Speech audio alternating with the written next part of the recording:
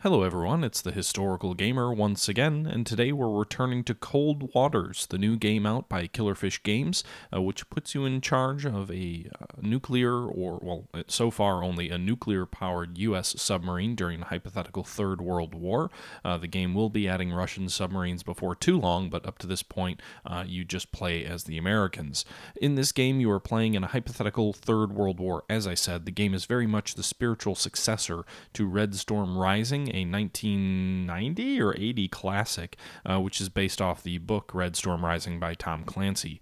The game puts you in charge of a submarine as a third person view, so it has a somewhat SSN type feel if you're familiar with a game that was based off the Tom Clancy SSN novel, uh, which looked at a uh, Asian uh, conflict between the United States and China in the 1990s uh, where you had the exterior view of the submarine. In that sense, uh, this game reminds me a lot of that. Uh, we are 34 days into our campaign here in this video. Uh, that means we're more than a month into war. We've sunk more than 31 enemy ships. We've sunk more than 180,000 tons of enemy ships, and we've accomplished nine missions. Thus far, the war is starting to turn in the Allies' favor, uh, the Allies being the NATO allies, which is who we represent. Uh, but so far, the war is not decided. Uh, we have won a Bronze Star and a Silver Star, but again, that is not the point of this video. So, as you will have uh, remembered if you've seen the previous videos, uh, we've talked about the Foxtrot class, the Narwhal class. We've talked about warships that aren't in the game, like the USS Tang class and the German Type 21 submarine. In addition to that, we've talked about the U.S. Navy at the end of World War II and its uh, rise into the early Cold War period. And in this video, we're going to return to that series. Rather than look at one specific submarine in isolation, however, this time we're going to do double duty. So, if you've remembered, we've already talked about the U.S. Navy and its submarine fleet as it was at the end of World War II and the dawn of the Cold War. We've then talked about some modernization that occurred in the U.S. fleet with the Guppy program, the Greater Underwater Propulsion uh, Program, which basically was looking at improving U.S. fleet boat submarines, which were thoroughly modern and up to date uh, at the end of World War II, but which were made obsolete by many of the innovations and developments which occurred under the Type 21 program of Nazi Germany, but never really came into combat. So the Guppy program was designed to upgrade these fleet boats, which had only been a couple of years old, but were now rendered more or less obsolete, because the understanding was that the Russians would develop their submarines with the innovations in the Type 21 class as well. In our last video, we looked at the first U.S. post World War II submarine design, the Tang class, which is the first large fleet boat uh, effort that the United States Navy made after World War II and incorporated many of the de- designs and upgrades uh, that the Type 21 class of Germany had, except it was a U.S. designed submarine. Uh, in that video, uh, we, we got a glimpse into the future fast attack boats of the U.S. Navy. But it's important to understand that there was a attitude shift that took place at the end of the Cold or at the end of World War II and at the beginning of the Cold War, where the U.S. Navy realized, listen, you know the the traditional use of submarines as commerce raiders as anti-warship raiders that's not sufficient for us to have a large submarine fleet. And so the Navy was grasping, and I've mentioned this a few times in a few of our different videos, the Navy was grasping for different ways that they could use their submarines effectively, or different reasons that they needed to continue having a submarine fleet. So they looked at things as using submarines as cargo vessels. You know, you can get in and get out covertly with supplies. Uh, they had used that during World War II to some success during the evacuations of the Philippines. They were looking at using them still as you know anti-surface warfare vessels, uh, anti-submarine warfare vessels, uh, guided missile carriers. There was a thought they could be used for that, and reconnaissance gathering platforms. While the Tang class took a lot of what the Type 21 uh, did, it wasn't necessarily a change in, in thought in how the submarine would be used. Again, they were taking a ship that the Germans designed to destroy convoys and warships and basically just created their own. The problem was the Russian Navy didn't have a lot of warships at the end of World War II. The odds of the U.S. seeing a lot of those warships at sea were pretty small, and the strongest part of the Russian Navy at the end of World War II was its submarine force. And so, as we've talked about previously, the Navy had to try and figure out what it was going to do with its submarine fleet, and more specifically, what it was going to design for the future. How was it going to justify to Congress that it needed more submarines? And the recognition that the Russian submarine force was the strongest part of the Russian Navy uh, kind of came into, into the crux of, of the debate on how the U.S. should move forward with its submarines. the United States Navy made the decision that it was going to use submarines as a principal anti submarine warfare uh, mechanism. And that's because they believed the threat to the Russian submarine force was grave. Uh, in one uh, Navy admiral uh, discussing kind of the view of the Russian Navy at the end of World War II, uh, he said an assumption that the Russians uh, will maintain their number of submarines in approximately the same amount that they have now, but improve their types and replace older types with new ones, and the second assumption that by 1960 or within 10 years, 1958, that the Russians could have 2,000 up to date submarines. I have chosen that latter figure because I believe it is within their industrial capacity of producing that number, and I believe that they really intend to employ the submarine as a mean of preventing the United States or her allies for operating overseas, that 2,000 would be the number they would require from their force. This was a vast increase in the submarine force of the Soviet Union. Uh, there was a, a, quote in 1948 of a Russian admiral also saying that they could have a submarine force of up to 1,200 submarines. However, there's very little actual documentation in the Soviet Union to say that the Soviets planned for such a force. Uh, there was actual naval intelligence that was done to say that the maximum the Russians could support, just in terms of berthing space for the submarines, uh, the amount of water, distilled water they had, which would be necessary for the use of batteries, which would power all of these submarines, and the amount of fuel that the Russians would have uh, in access to their, their submarines would not allow a force in excess of 400 uh, submarines. Nonetheless, in early 1940, the late 1940s, around 1948, the U.S. Navy firmly believed that the Russians were somehow going to create a uh, force of 400 plus, you know, be it 1,200 or 2,000 uh, submarines which would be used to stop the United States from being able to get access to Western Europe. So the key sort of viewpoint from the Navy is that the way the Soviets were going to prevent the United States, which had by far the strongest Navy in the world at the time, from supporting Western Europe in the event of a war between the US and Western Europe was basically putting these submarines out here as pickets or as kind of mobile minefields where convoys would be prevented from gaining access to Western Europe by Russian submarines. Very much a traditional submarine threat against surface vessels. The question was how were the Allies going to counter this? And the Americans and the British, more specifically the Americans, viewed that U.S. submarines could be used as an anti submarine warfare uh, weapon. Uh, they believed that there were 58 German submarine, German and Japanese submarines during World War II that were sunk by Allied submarines themselves, and they believed that that meant the submarine could be an effective anti submarine uh, warfare weapon. The problem was that only one of these submarines was actually submerged when it was sunk. All of the other submarines were sunk on the surface. Only HMS Venture sank U 864 off Norway in early 1945 when both submarines were fully submerged. And so that's sort of an interesting little tidbit. Nonetheless, as early as 1946, the United States Navy's Operational Evaluation Group had proposed the use of submarines as anti submarine warfare weapons. Uh, that September, uh, the chairman of the planning group of submarine officers conference noted with the further development and construction and effective numbers of new submarines by any foreign power, the employment of our submarines in anti submarine work may well become imperative. So it was viewed that the uh, even as early as 1946, the Navy's anti submarine warfare conference proposed equal priority for specialized small anti submarine warfare submarines, as well as the new Tang class submarine. So the Navy was beginning to develop this ideology of a hunter killer submarine, a submarine that would be used in the destruction of enemy submarines. It would basically lie in wait off of Russian shores for Russian submarines to start coming out of their ports and, and coming to the Atlantic to threaten uh, you know, U.S. convoys and U.S. naval assets, these submarines would wait quietly for the Russians to leave their ports, and they would ambush them on their way to combat zones. And in many ways, at least in my viewpoint, this was kind of the birth of the hunter. More specifically, this was kind of the birth of the fast attack submarine. That's because today, submarines' principal purpose, they, are very general purpose, right? Submarines are going to be used in uh, dropping off special forces, engaging surface threats, and engaging submarine threats.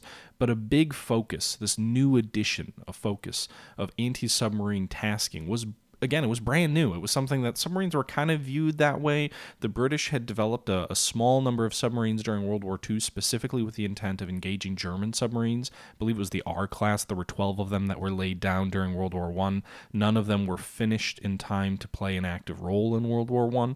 Uh, but outside of that, it was really the first time that submarines were being used or being thought of in being used in a uh, substantial anti submarine warfare effort. There were some examples in World War II of the S class boats by the U.S. being sent uh, to be used in anti submarine uh, warfare duties against the Germans in, in World War II, but most of that was a, you know, all right, if the enemy surfaces, maybe we'll be able to destroy him. At the very least, we can, we can kind of put ships in the water that'll prevent them from being able to surface and be able to be effectively employed. But it wasn't really the thought of the principal use of this, this weapon weapon would be in anti submarine warfare. That was relatively new.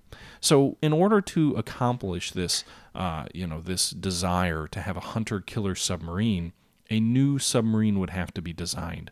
And that's, you know, in addition to this changing ideology uh, being part of the topic of this video, the other topic is the U.S. K class submarines, uh, notably the K 1 submarine, which is the first of this class, which were to be designed as a anti submarine uh, task force or an anti submarine uh, submarine. For the first time, a sub was going to be designed from the ground up to attack enemy submarines, at least from the U.S. perspective. I already mentioned the, the British exception during World War One. Also, it's worth noting that with the K class, which would just sort of to avoid confusion, they they were originally considered the K1 class submarine, and they'd have numerous submarines. You'd have the K1, the K2, the K3, and, and sort of this idea of having a multiple submarine, a large submarine force in this class. In addition to that, these submarines uh, were the first that were going to be classified as SSKs, which essentially meant you know SS would be the the submarine. I don't know if it's submersible ship or something. Uh, but then the K stands for killer.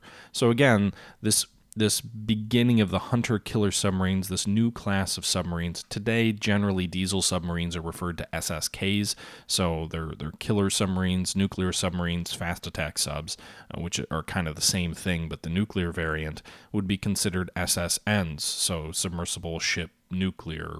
I'm, I'm, making an assumption here. Uh, the K class would end up being referred to as the Barracuda class in retrospect, but at the time it was designed, it was called the K class. So, some of the key factors with the submarine class is they wanted to originally make a small submarine. They had thought of making a easily reproducible submarine that wasn't necessarily made by shipyards that were only used to uh, making submarines. So, kind of a similar mindset to what went behind the German Type 21, where you have these submarines sort of assembled away from a dockyard and then just kind of or, or built away from dockyards and then assembled, at, you know, at an actual facility um, and then put in the water. So originally there were some preliminary designs for the SSKs before the K class kind of had, had evolved that would have had very small submarines, you know, a 250 ton boat uh, at one point with only a crew of two officers and 12 enlisted men, a 14 man crew and 250 tons. Uh, there was an additionally a later design that had 450 tons, uh, but again, it revealed that both of these submarines would have had uh, submerged endurances that were far too small to be practical. Uh, so they ended up needing to make the boats a little bit bigger. And at the end of the day, the K class ended up being around 740 tons, which is approximately the same size as the German Type 7 submarine, uh, which was the kind of workhorse of the German Navy during World War II. These boats would be fitted with a large BQR 4 sonar array. This is a passive sonar array, which was basically an enhanced and enlarged version of the BQR 2. So I mentioned earlier that the BQR 2 in a previous video was basically just a copy of the German passive sonar system that was used on U-boats during World War II, which was vastly superior to what the U.S. Navy used in uh, in World War II. So the BQR-2 was a copy of the German Navy's uh, sonar suite, uh, which was used in World War II. The BQR-4 was an enlarged version of that. So the BQR-4 actually had uh, a, a sonar suite that had more than 58 hydrophones uh, that were mounted in, uh, and I'm quoting from this Cold War submarine book I've been reading, uh, that were mounted in sort of a circular arrangement.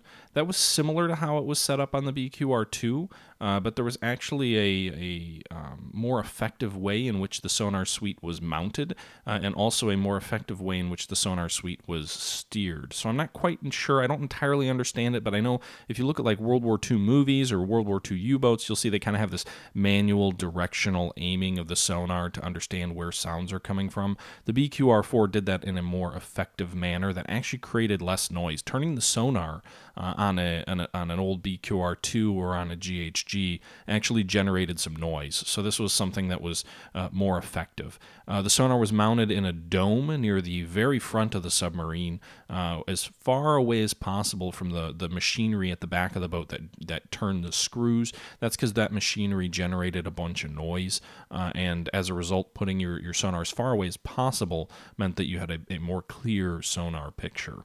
Uh, the BQR had an estimated range of up to 20 nautical miles, uh, which was vastly superior uh, to the previous sonars. Uh, those tended to have a range of up to 10 miles.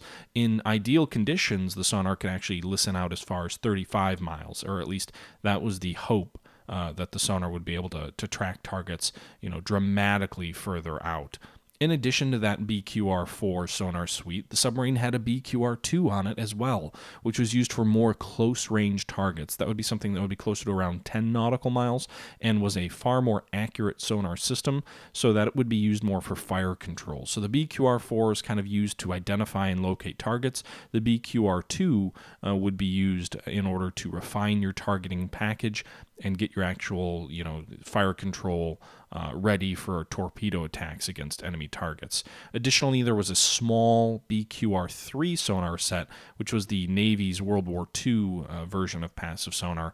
That could be used as a backup for both the BQR-2 and the BQR-4. Additionally, it could be used to transmit a acoustic ping, so an active sonar ping for accurate ranging in terms of coming up with your final solution uh, for your, your firing solution. There were other innovations as well, such as making the air conditioning and the cooling in the in the uh, submarine somehow self-quieting. I'm not quite sure I fully understand that, but basically it would allow the submarine to be a more quiet submarine. Originally, when the submarine was proposed, uh, the Navy called for a fleet of over 960 boats that would be built to counter up to 1,200 to 2,000 Russian submarines. These submarines had a slower submerged performance, or at least that was the intent, would only be about eight and a half knots uh, below the ocean. Uh, but the intent was basically to lay these almost like a minefield across the likely approaches of Russian submarines to the Atlantic, which is interestingly enough a tactic that you'll end up seeing reused when the fleet became more capable. You saw these SOSUS lines of sonar buoys that would be laid across the North Atlantic in order to kind of create a barrier that the Soviets would have to break out into the Atlantic Ocean to pose any threat to convoys. So this was a, a early iteration of that idea, of that idea, an early iteration of that strategy in which the you know the boats would need to um, you know, break through a line of American submarines to pose a threat to U.S. convoys moving to Western Europe. Uh, and that was something that was first looked at uh, with the SSK class. Uh, the first boats that were authorized uh, were the was the K1. It was authorized in 1948. Construction began, uh, well, funding uh, fiscal year 1948. Uh, construction began in 1947, and there were two more boats that were authorized the following year. Um, these were ordered in place of an additional Tang class submarine. So we mentioned in the previous video the Tangs only had a couple of them built because they were very expensive. Uh, so they were ending up purchasing two K2. The K2 and the K3 were ordered uh, in lieu of an additional Tang class submarine. Uh, the intent was to build a whole bunch of these, as I've already said. Uh, they would end up being on station off Greenland and Iceland, southern England. Uh, there were talks of being on station near Petropavlovsk, uh, the Kuril Islands islands uh, offshore off of China. Um, you know, in essence, there'd be up to 300 on station at any one time. Over 900 in total uh, would be, you know, in service with basically 300 in, in, in station at any one time. The other 600 would either be in training or they'd be in transit or, or other uh, things like that. The intent was to build both of these vessels in tandem with each other. Uh, so, for example, 1948 would have one K class submarine laid down, 1949 would have two. There would be two Tang classes in each of those years as well. 1950 production would ramp up to five, while no Tangs would be laid down. And then in 1951 through 1960, between two and three K class subs would be laid down every year, as well as two Tang class submarines each of those years. Uh, as it turned out, only the original three K classes ordered would end up being laid down, and only the first six Tang classes laid down in 47, 48, and 49 would end up being laid down as well. Uh, the K class did not have a reputable career. They were all out of commission before 1960. They were launched around 1951 and all, again, only had about eight years of service in them. The K boats were actually very advanced for their time. They had some impressive abilities to detect enemy submarines at distance, but the problem was they generally could only detect them if they were on the surface or were using their snorkels. Russian submarines had to be moving at over 8 knots for them to be able to be detected. So while this was much better than, you know, other other classes of the time, it still wasn't really good enough to be terribly useful. Um, the submarines, again, only three of them were built, uh, but they were backstopped by some, I believe it was Balao class submarines, uh, which were converted in the Guppy class uh, Guppy class upgrades. So as the K class did not end up getting more additions to its fleet, uh, there were some Guppy modifications which were brought in, and a new submarine division was created with the intention of um, essentially uh, building submarines that would specifically counter enemy submarines, so they would be SSKs, as we had previously mentioned. Uh, what what this ended up meaning is that you had a lot of anti-submarine warfare drills that were going on in the early 1950s. Uh, there was a lot that was being learned. Um, the submarines would be mounted with Mark 16 torpedoes, which were unguided, uh, you know, modifications of the Mark 14. They would end up carrying eight torpedoes total. They would also end up carrying the Mark 35 uh, acoustic homing torpedo, which was kind of a smart torpedo, but it was only only used for anti surface vessels. So it's interesting you have an unguided torpedo, which can be used against enemy submarines, and then you have acoustically guided Mark 35 torpedo, which would be useful against enemy uh, surface vessels. At the end of the day, these weapons were primitive for their time, and again, unless an enemy submarine was at snorkeling depth and snorkeling, and you guessed right on its actual depth, or unless the enemy was, uh, you know, transiting on the surface, uh, these SSK boats, while modern for their time, turned out to be unable to really effectively be used in anti submarine warfare.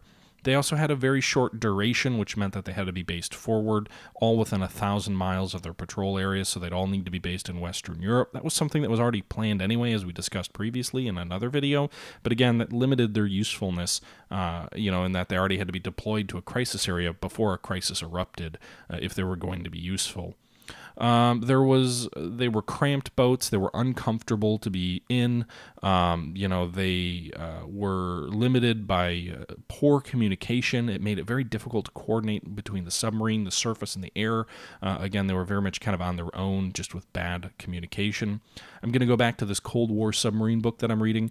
Uh, the uh, and this is basically as as the boat book quotes, an epitaph of the K boats was written by Captain Ned Kellogg, uh, who had served aboard the K3 as a young officer.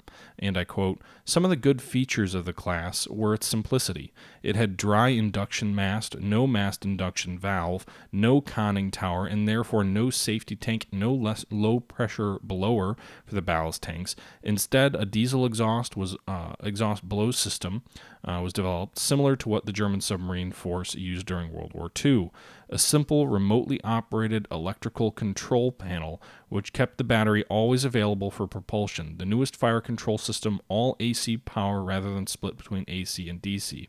But the submarine suffered from having diesel engines that were difficult to maintain, an unreliable and insufficient fresh water plant, undependable electrical generators, and slow speed. Kellogg concluded, You just can't build an inexpensive submarine that is worth much at all unless you man her with a crew of courage and heart. So, again, this was a stopgap attempt by the Navy to develop a cheap submarine that they could mass produce that could be used to counter the perceived threat of Russian submarines. The problem was at the time the technology wasn't there to allow a submarine like this to be effective against enemy submarines. Again, you had to find an enemy that was near the surface, that was on diesel engines, or that was moving incredibly fast. And this submarine just didn't have the speed if it wasn't already in position when an enemy submarine was, you know, coming out. This submarine just didn't have the speed to be able to catch up and, you know, do much at all uh, against against the enemy in that scenario. The concept of the hunter killer was born with the K class, which again would later be changed to the Barracuda class, but the submarine simply was not yet at a technological development uh, in order to be able to uh, effectively counter the K or enemy submarines in anything but the most ideal of circumstances. Additionally, it sort of follows the mantra of you get what you paid for.